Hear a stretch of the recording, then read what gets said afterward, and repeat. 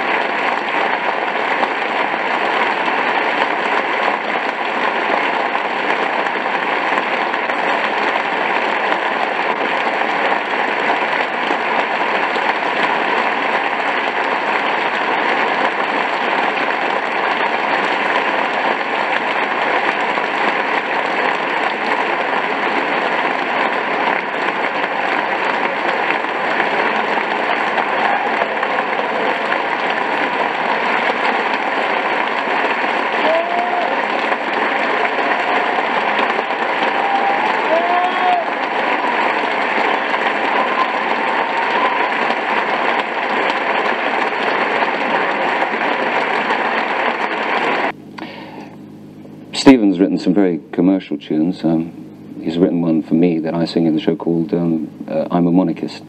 It's a wonderful tune about uh, about England, about the King, about God, about everything. It's it's all in there.